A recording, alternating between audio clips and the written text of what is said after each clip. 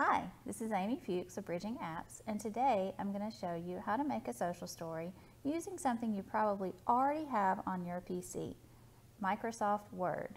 Let's check it out. So let's talk about social stories. Um, we have always used social stories in the classroom, in our regular routines around the home. They can help children know how to get ready for school. They can help them know um, how to attend an assembly at school, um, how to attend a birthday party, what's expected for you to birthday party, field trips, lots of great things. So we decided to make a social story for our clients who are going to be possibly returning to some in-person therapy appointments soon. And things are going to be very different from how they were before the coronavirus um, pandemic. And doctors' offices are changing their rules, therapy appointments are changing their procedures. So there are going to be some things that our children are not expecting to see. So we decided to make this social story to help them out with that. Again, we're going to use Microsoft Word to make it. And the links to these social stories that we have made are going to be in the description for you to download on your own to use how you like, as well as a link for the clip art, which is really, really cute and you can make them you can make social stories that will um, be appropriate for your child your loved one to use as needed. So to start off we have a blank document in Microsoft Word. I am going to put a title on it. Um, I like to use a nice big font, 16 point usually, just in case um, I'm working with someone with a visual impairment, which I do quite often. Um, so we're going to get the title on here, and then we are going to insert a table. So one of the easiest ways to do this is to insert a table because then you just have nice little spots to put your words and to put your images and you don't have to fight with how to drag them around on the piece on the page on the document. Um, it's just a really nice easy way to make it. I like to use about six steps in most social stories. If you get too many steps it begins to be confusing. So we insert a table. We just make the um, rows all the same size just to distribute rows and then we start inserting our pictures and type.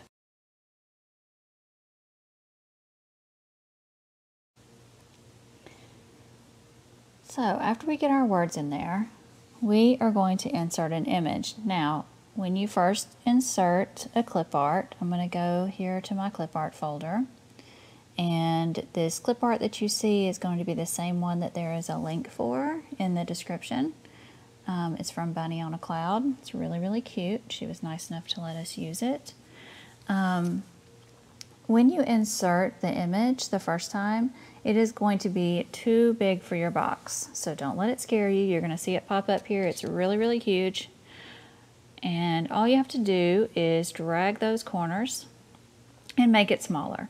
So once you make it smaller, takes me a minute here, then you can, again, I'll still make it even smaller so it will fit here with our social story. I really like the social stories to be just a one pager.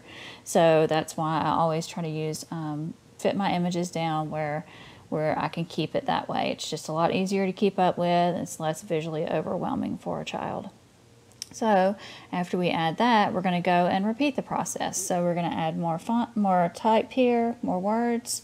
Um, the next step of our social story um, and then we're going to add the image and the easiest thing to do here is to copy the one that you just did because it's the perfect size now and paste it. And after you get it pasted on there, then if you right click on that image, a choice will come up to change picture. When you click on change picture, it will take you right back to your files and the next image that you choose is going to be the perfect size for that spot because you have already sized that photo spot. So it's just a really easy shortcut so you don't have to resize it each time. We're looking for a boy who's really sick. There, he's got a fever. We put him on there, and we're going to continue the process until we get all of our steps in there.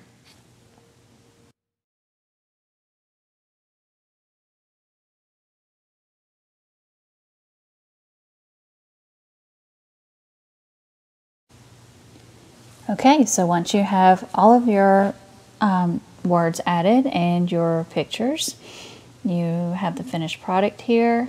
Um, one thing you can do if you do not like the lines showing, if you don't like these borders, you can go up and clip in the top left corner. Um, there's a little square there, it looks like it has a cross in it. Go up to your table tools, it's under design, and then choose in borders, you choose no border. It doesn't show up here when I click on it, but what I'm choosing is no border and then all of the lines disappear. So it's a personal preference if you like the borders or not.